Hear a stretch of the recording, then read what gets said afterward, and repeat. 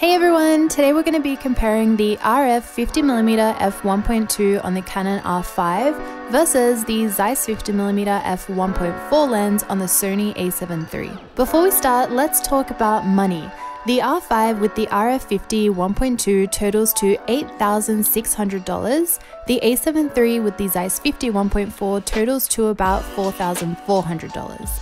So the RF 50 1.2 on its own is about 3,000 and the Zeiss 50 1.4 on its own is about $2,000. So straight off the bat, you can see we already have a little bit of a difference here in terms of what is high-end and expensive and high-end but not as costly. I think let's go to that little bushy part over there. Oh, we got a little rock to sit on too. That'd be cute. I'll start with a standing one. Um, can I get you to like in this little area? So I'm going to start on the R5 with the 50 and I'm going to take some close-up portraits. And these are backlit as well, kind of diffused backlit.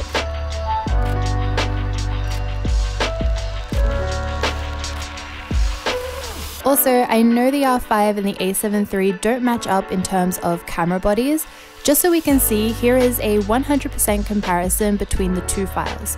The R5 has more megapixels and we can zoom in a lot more into the photos. So here you can see what they look like side by side, but to keep the comparison fair, I will be sharing the R5 files at the same resolution as the A7 III files. I'm just trying to get the same settings, 500, 1.2, And now I'm on the Sony a7 III with the Zeiss 50. And again, just gonna get the same shot as we did on the Canon. Starting off with something easy, here we took some close-up portraits. I had both cameras set to continuous AF with Eye AF turned on. As you can see in this side-by-side, -side, both lenses are gorgeous. We have focus right on the eyes, you can see a lot of skin texture and detail, and the face is super crisp as well. Both portraits also melt away into some beautiful bokeh since they were both shot wide open. and then can I get you sitting on that, on that rock? A convenient rock. So now I'm gonna get an extreme close-up, so just Alana's face in the shot. And I'm gonna start on the RF50 on the R5 and we are completely in the shade here.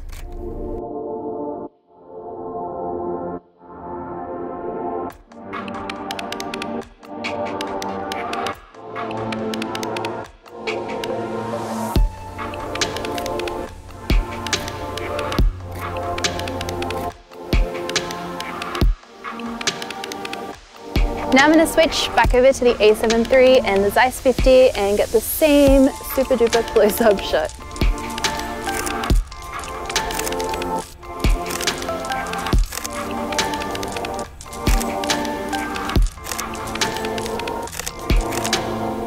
Again, in the super close-up shots, I would say both lenses look pretty similar in terms of quality.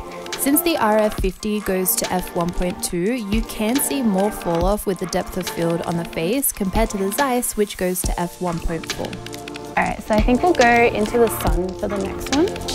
So now we are in direct backlight, so the sun is shining very brightly onto my lens, and we're gonna take some full body shots, starting on the RF50. Yeah, I love that movement.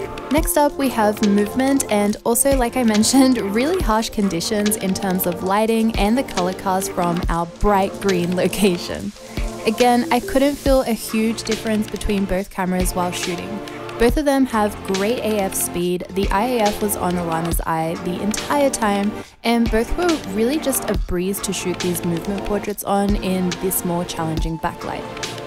Looking now at the photos on my computer, both the Canon and Sony had great autofocus accuracy as well.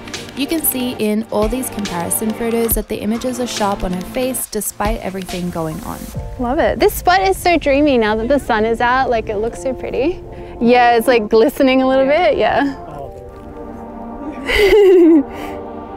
okay, so now I'm back on the Sony a7 III and the Zeiss 50.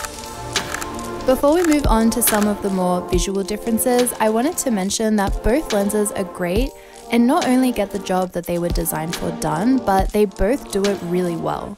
If I was a Canon or a Sony shooter, I would be super happy with either of these lenses as a reliable 50mm focal length for my portraits and weddings. I think the biggest difference for me when looking at these lenses is actually just the price. I do like that for a high end lens, the Zeiss does come out on top with such a good price in what you're getting.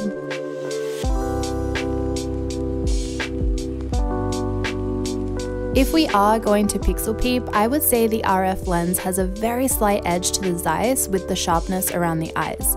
It's a really small difference, but if you look closely at Ilana's eyes, they are very slightly clearer in the RF photos.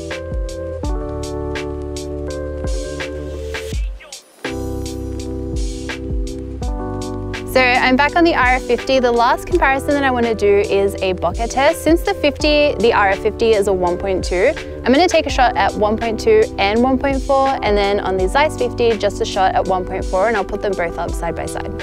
So we do have a fair amount of bokeh from this background and this is kind of like a mid-length, pretty directly lit back shot as well. In the wide open photos from both lenses, some of the RF50 shots have the bokeh in the shape of an eyeball almost, whereas the Zeiss bokeh is still not perfectly round but has more of an oval shape. I also noticed that the bokeh in the RF lens looks a bit more spaced out, which is nice if you want a more subtle background for your portraits.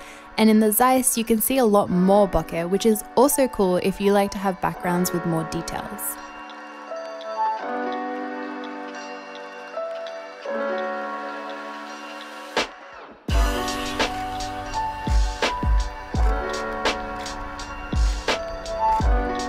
Okay, and then I'll do the same here at 1 over 1000 and f1.4 in the Zeiss. Both lenses have that cute little rainbow lens flare. I feel like the Canon flare is more prominent with the double flare and it also bends upwards, which has slightly more chance to be covering something important in a portrait such as someone's face. The Zeiss lens flare only has a single rainbow that bends downwards, so I see it more of a fun lens flare that you can choose to have in your backlit photos if you don't want to use a lens hood. At 1.2, you can see the RF lens definitely does a better job at blurring out the background, which is great at creating that foreground to background separation if that's the style you're going for in your portraits. The Zeiss does the same thing, but you can see a subtle difference, especially in these backlit shots with the ferns in the bottom right hand corner. Even when both lenses were set to f1.4, the Canon still has a slight edge with the background melting away. Even though RF lenses have a great reputation and for good reason, this 50 is a beautiful lens, I'm still super happy sticking with my Zeiss 50 1.4 lens on Sony. As you guys could see throughout this video, both lenses look pretty similar and only have very small differences, which for me are only noticeable when pixel peeping while I was looking at the results for today's video. I would love to know what you guys think though, so please let me know in the comments as well. So that is all we have for today's comparisons between the RF50 1.2 and the Zeiss 50 1.4.